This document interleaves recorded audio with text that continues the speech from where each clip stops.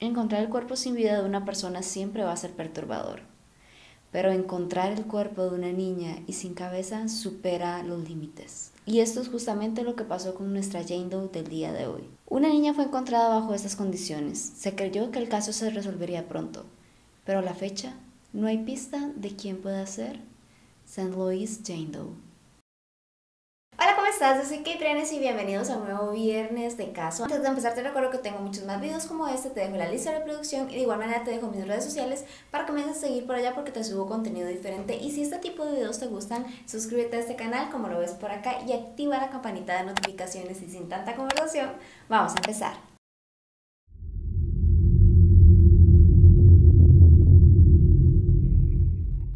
Todo sucedió justamente a finales del mes de febrero, pero del año 1983, cuando dos hombres saqueadores de estas personas que se dedican a entrar a propiedades abandonadas, viejas, a buscar cosas que puedan ser de valor y así robarlas. Ellos entraron a esta casa de estilo victoriano que se encontraba evidentemente abandonada y no solo eso, se estaba desmoronando básicamente. Acá adentro a la hora de encender un cigarrillo fue que vieron en el sótano de este lugar el cuerpo sin vida de una persona y este cuerpo no tenía cabeza. De hecho, lo que es esta casa al día de hoy ya no se encuentra, fue demolida. Hicieron un edificio de departamentos, si no me equivoco, y resulta hasta algo tétrico porque la elección de colores e incluso hasta las ventanas son algo similares a lo que fue en ese momento esa casa. Lo que ellos vieron en ese lugar fue un cuerpo que tenía las manos atadas hacia atrás, una persona que tenía un suéter amarillo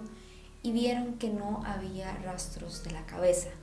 Inmediatamente salieron asustados, temerosos, impactados por el hallazgo claro está de lo que habían visto para llamar a la policía y que se hicieran presentes en el lugar. Probablemente los policías cuando iban de camino hacia la escena pensaron que sería un caso que se resolvería pronto, tal vez estaban buscando formas de cómo hallar la identidad de la víctima, quién era, y es que probablemente alguien iba a hacer un reporte de desaparición que pudiera calzar con las características de la persona hallada en esta casa.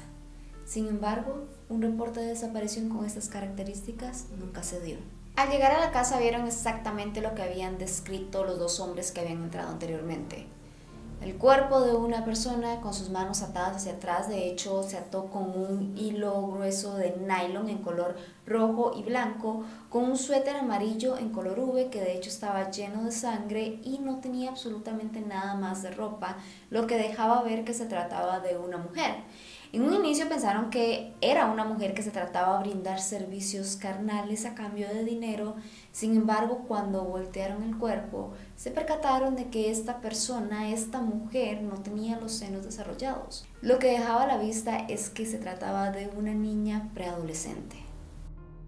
Para poder investigar y determinar cuándo falleció esta persona, se hicieron pruebas de moho en el Jardín Botánico de Missouri, lo cual reveló que ella habría fallecido aproximadamente unos cinco días antes de haber sido hallada. Lo que se concluyó definitivamente es que no se le quitó la vida en lugar, en la escena, en esta casa donde fue encontrada, sino en otro lugar, ya que en esta escena habían apenas unas gotitas de sangre para la magnitud de sangre que pudo derrochar el cuerpo. Y es que también se pensó que se hizo de esta manera porque a la hora de cortar la cabeza, que de hecho fue un corte muy delicado, muy bueno, muy fino, muy bien pensado, Después de esto lo que se hizo fue permitir que el cuerpo drenara toda la sangre y una vez que la sangre estaba drenada fue que la llevaron hacia esta casa.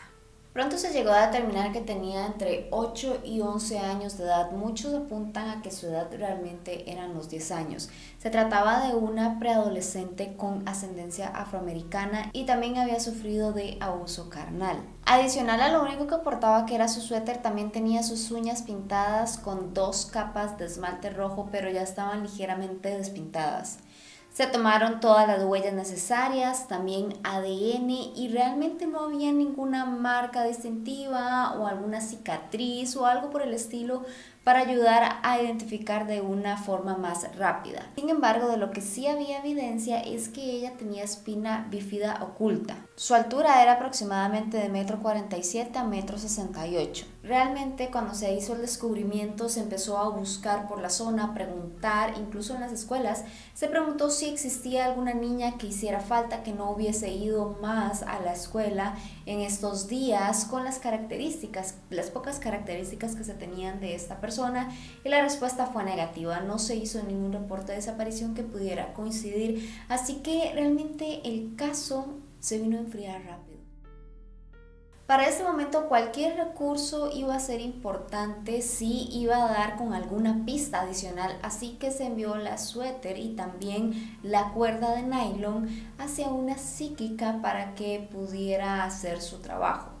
Sin embargo, el suéter y la cuerda no fueron devueltos y es que se cree que nunca llegaron hacia su destino, que se perdieron en paquetería. Lo cual resulta triste porque ahora hay técnicas en las cuales se puede extraer ADN de lugares muy ocultos, muy oscuros, muy adentrados y uno de estos lugares podrían ser las cuerdas que se utilizaron para atar sus manos. Por otro lado, también se hizo comparación entre las personas que estaban desaparecidas y demás, sin embargo, varias niñas fueron descartadas y no hay ningún otro match que pueda ser relevante para este caso. En algún momento se llegó a sospechar de Vernon Brown, que Vernon de hecho era un hombre que, le había quitado la vida anteriormente a niñas y se creyó que se podría tratar de él ya que por la zona él habría estado en el momento de los hechos. Se dice que las víctimas de Brown son entre 3 a 5 personas. Sin embargo fue ejecutado por el asesinato de Janet Perkins quien tenía 9 años, que todo sucedió en 1986 cuando Vernon llevó a la niña dentro de su casa, le ordenó a sus hijastros que se encerraran en el cuarto y llevó a la niña al sótano, la amarró y le quitó la vida estrangulándola. Posteriormente hallaron el cuerpo en dos bolsas de basura.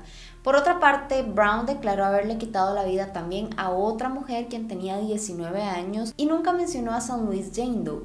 Así que me deja pensando, ¿por qué él vendría a confesar dos crímenes? Incluso confesó un crimen que había hecho anteriormente con esta chica de 19 años pero no declaró lo de San Luis Jane Doe. Él indicó que había estado bajo el efecto de las drogas cuando sucedió lo de Perkins y que tuvo un blackout que ya no supo qué fue lo que sucedió.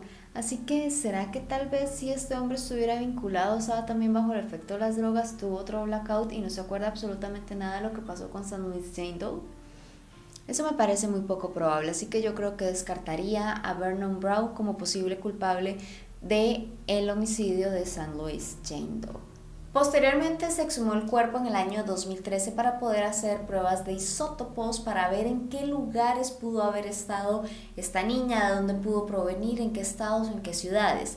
Y se determinó, según lo que indica el Centro Nacional para Niños Desaparecidos y Explotados, que estuvo por el medio oeste y el medio atlántico. Por ejemplo, podemos hablar de Pensilvania, Ohio, Michigan, Minnesota, Wisconsin, Indiana o Virginia Occidental.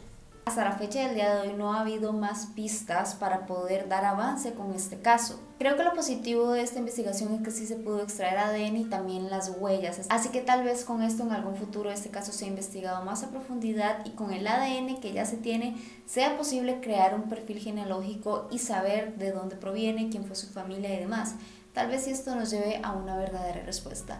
Lo que me entristece un poco es que no hubo un reporte de desaparición que coincidiera con esta niña y me preguntaría por qué, siendo una niña tan pequeña, por qué nadie la habría reportado. ¿Tú sabes de alguna persona desaparecida que podría encajar con las pocas características que tenemos. Si es así, déjamelo abajo en los comentarios para darnos retroalimentación.